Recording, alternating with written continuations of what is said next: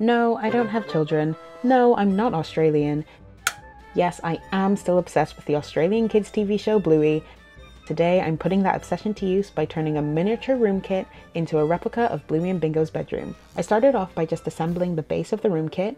It came with a printed floorboard design that was pretty similar to the floor that Bluey and Bingo have, but the wallpaper was nowhere close, so I quickly designed the wallpaper digitally and printed it off. Now it wouldn't be Bluey and Bingo's room without their watermelon rug, and since punch needle is very much like rug gunning, but slower, I decided to make a punch needle rug. I drew the design on some monk's cloth, made the rug out of acrylic yarn, used some flooring adhesive to secure the threads in place, and then shaved down the piece.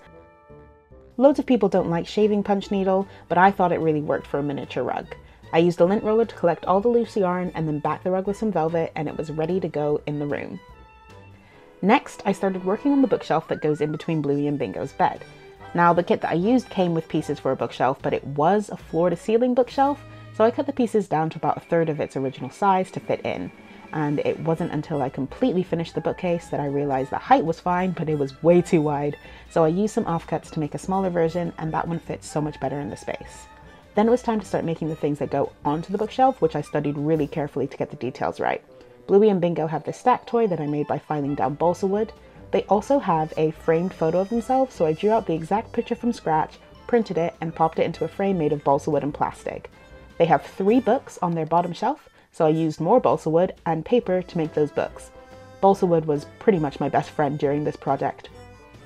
And I wouldn't be a Bluey fan if I forgot about Lampy, their Himalayan pink salt lamp. This kit came with a working light for a wall lamp, but I decided to use it for Lampy. I made the actual salt lamp part out of translucent polymer clay using a faux crystal technique, built that around some greaseproof paper, and removed the paper after baking to leave me with a lampshade. Then it was just time to start filling the shelf with all of the things I made. I then moved on to the stained glass window piece that they have, which I made using some shrink plastic and Posca pens. Their stained glass window is in a wooden frame, so in came trusty old balsa wood again.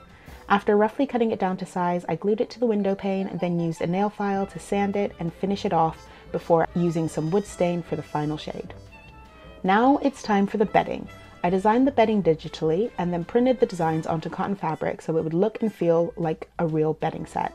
I ironed my cotton onto some freezer paper to make it printable, then peeled the freezer paper off. It was very satisfying. I used fabric glue instead of sewing the bedding together, just because it was quicker. I made the mattresses out of yet more balsa wood with some felt padding. I left the duvet covers empty and stuffed the pillows with leftover felt that I'd cut into tiny pieces. I built the final beds out of, you guessed it, more balsa wood and used some little wooden balls on the bedposts to recreate the vibe of the show. Then it was just time to fill the room. Bingo has her pink mattress, Bluey has her blue mattress, and they each have the appropriate bedding. And of course, I couldn't forget the glow in the dark stars. I designed this sheet digitally and cut it out on my Cricut using some glow in the dark vinyl. And now Bluey and Bingo are ready to chill out in their room, read some books, and go to sleep. And I'm ready to go watch some more Bluey.